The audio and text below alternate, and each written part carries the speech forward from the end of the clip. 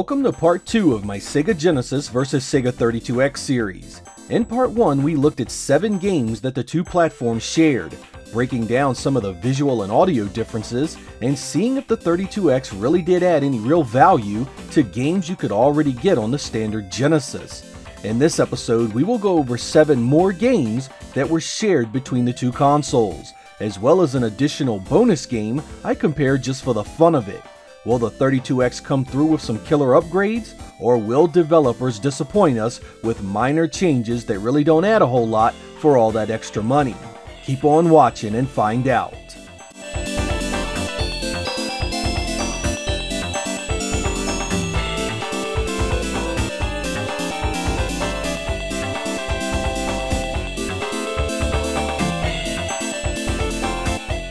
Virtua Racing shares a unique similarity between the two versions. The Genesis needed extra hardware to run both of them. The original Virtua Racing for the Genesis used the SVP, or Sega Virtua Processor, a booster chip inside the cartridge that helped render the polygons faster than the Genesis ever could alone. And of course, Virtua Racing Deluxe uses the 32X itself to render the polygons you see.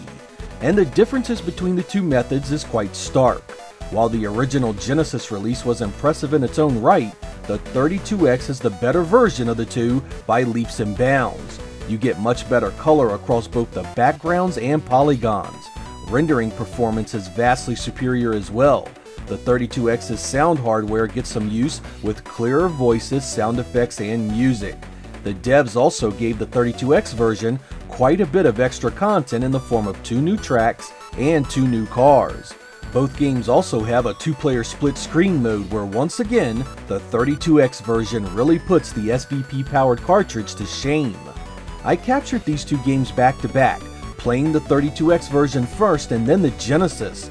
The contrast in the visuals made playing the latter extremely difficult. Everything looks and runs so much worse, it actually makes some of the areas of the track hard to see.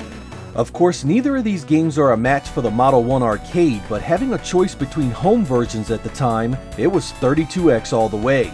I do prefer the AI in the Genesis version as far as gameplay is concerned. It's much more fair in regards to difficulty. On the 32X, the top two cars drive a perfect line every race, and you need to be just as dead on accurate to even get close to their level. Casual fans will never see a first place win in that version of the game. Three, two, one, go!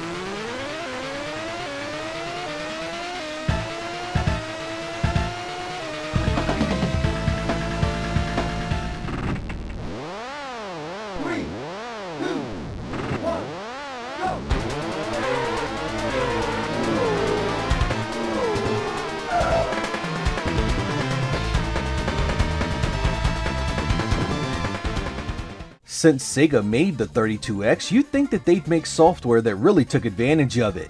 I mean, they were trying to sell the thing to you, right?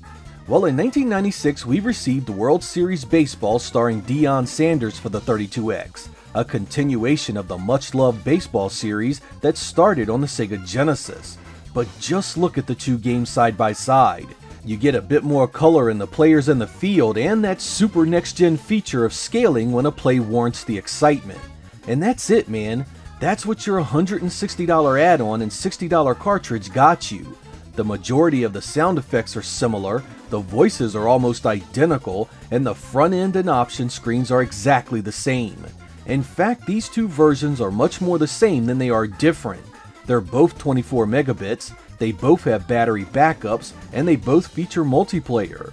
The 32X version only saw release in the US, and that wasn't until February of 1996, well after the demise of the hardware itself. Rarely can you use the term cash grab for a failed product, but Sega phoned in this lazy port, making it one of the worst offenders of the practice for the platform. If you like baseball games, you are missing very little by sticking with the Genesis original.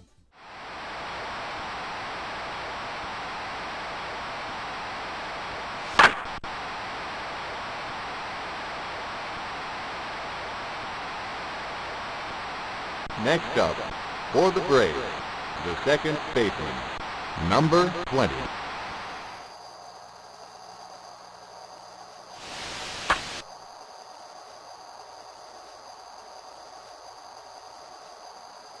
Out!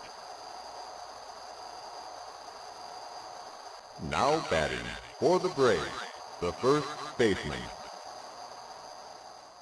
I was a big wrestling fan in my youth. Hell, some of my favorite games back then were wrestling titles. I loved WWF Raw on the Genesis, so when it was announced for the 32X, I was excited to give it a go. Pitting the two side by side, there is very little reason for celebration, however. Outside of some color differences, the two remain quite similar in animation, sprite size, and arena design. They both are 4 player and retain the same match types as well. The biggest differences you'll find is actually in the music. The 32X has much better music and each wrestler's theme song sounds much fuller and richer. Crowd noises are better, and every wrestler's grunts and groans are clearer. But for that sound trade-off, you get another game that runs at 30 frames per second versus the 60 of the Genesis original.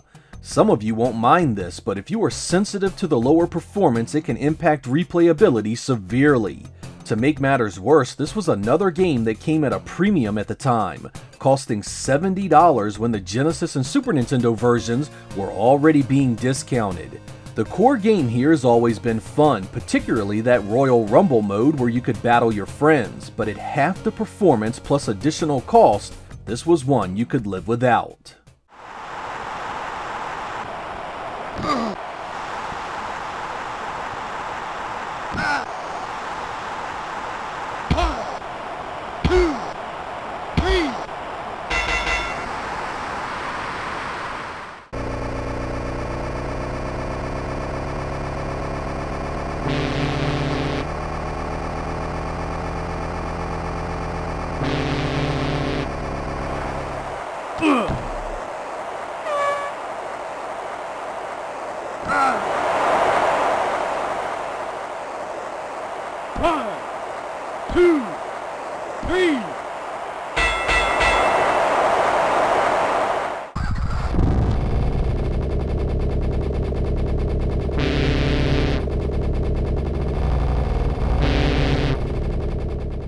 While Acclaim was responsible for publishing both WWF Raw and WWF WrestleMania the arcade game, the results couldn't have been any different. Here, Sculptured Software really upgraded the standard Genesis version. The sprites are larger and more colorful, the ring and arena are more detailed, and the music is in a different league entirely. It does again suffer from the 30 frames per second performance issue, but in this case it's worth it to get the increase in the other areas. I always thought the original Genesis game was impressive in its own right. It had all the wrestlers and looked fantastic for hardware that was years behind the arcade machine in terms of technical advantages. With that said, I really do like the 32X entry as well. They really kicked up the visual oomph, and I noticed very little slowdown when more than two wrestlers were on the screen. Had WWF Raw had this same level of enhancement, it would have been a far more impressive experience. You don't often hear me say this, but I'll take the 32X's visual goodies over the smoother gameplay of the Genesis edition in this one.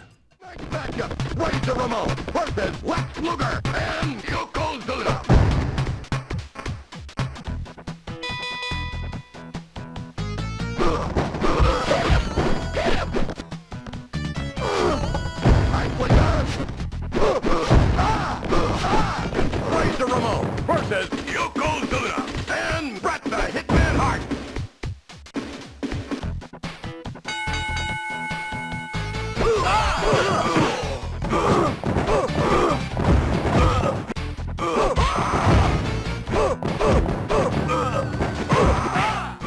The Brutal Fighting Game series was released on the Genesis and Sega CD in 1994 under the name Brutal Paws of Fury.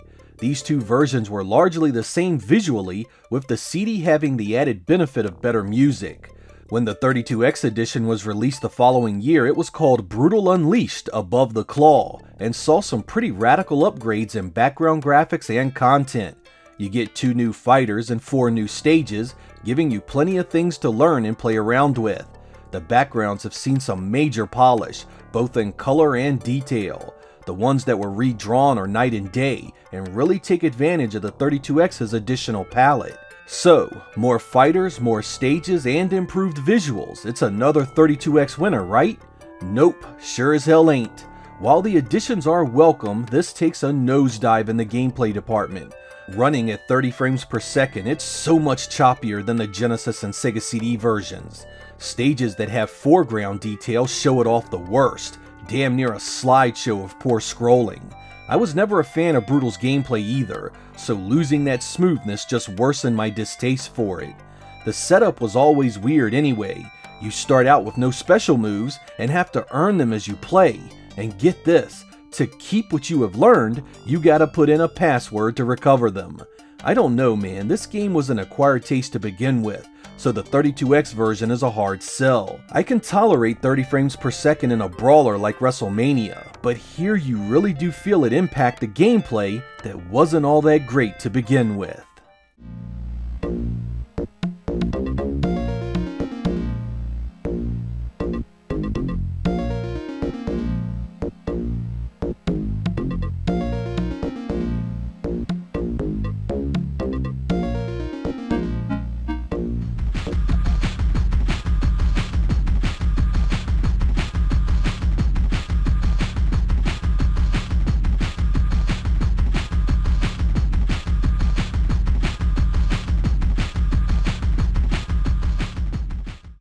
Included RBI Baseball here so you could see where the series was headed in terms of design and gameplay.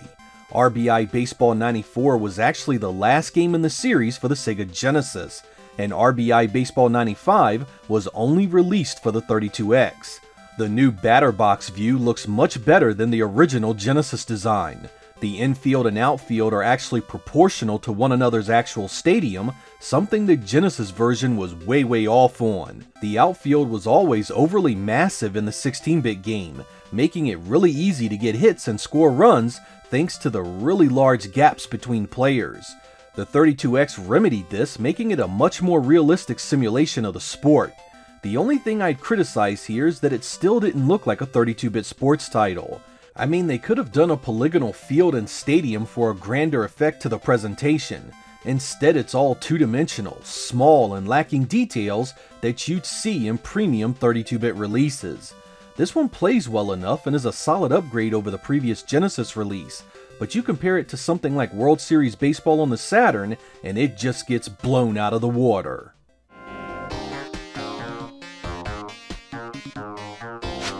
Fly ball is short.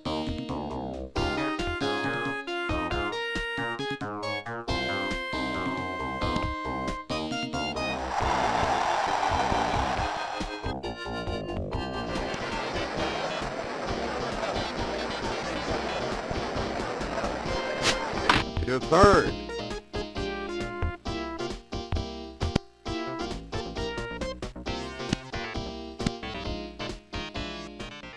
At the end of 1995, Electronic Arts released FIFA 96 for both the 32X and Genesis. This is one of the few titles that actually had two different teams develop two different games under the same name for the Genesis and 32X. They were even released on the same day, though the latter was only released in Europe. And boy what a difference between the two versions you get. While the Genesis uses traditional sprites against a 2D field, the 32X version uses 3D polygons for the field and stadium, and 2D sprites that scale in and out with the action. This allows you to choose different camera angles that can really change the way it feels and plays. This definitely gives the 32X version a next generation appeal the 16-bit game lacks entirely. But to be fair, there are some trade-offs for this new 3D engine. First, you lose the beautiful animation in the Genesis sprites and the smooth field movement. While the 32X visuals are more dynamic and exciting, they are also far choppier and nowhere near as detailed.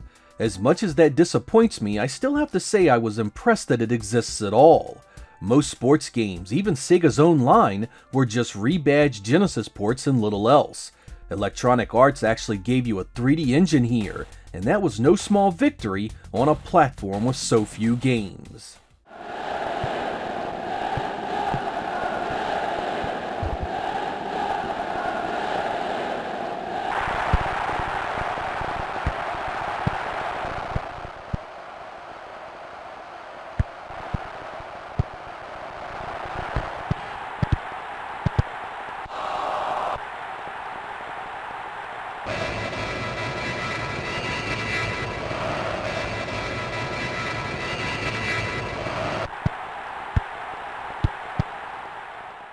The last comparison I have for you I'm including as a bonus only. You can't really compare these two because they were completely different games to begin with.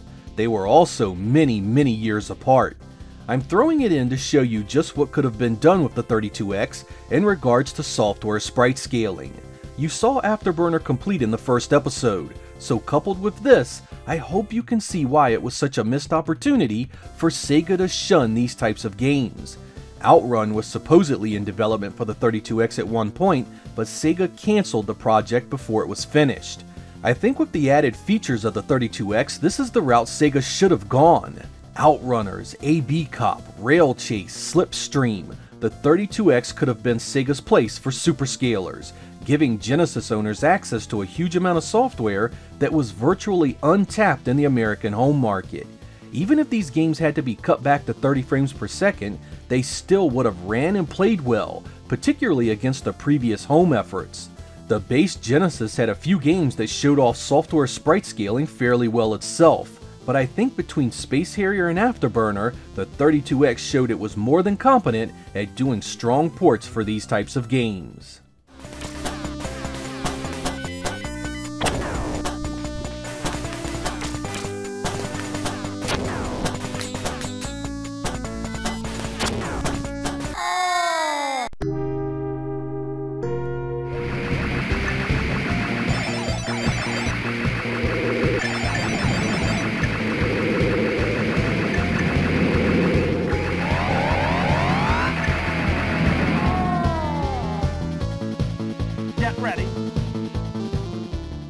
That ends part 2, and I think we can again reach the conclusion that a lot of this software were just Genesis games with slight modifications in color and sound.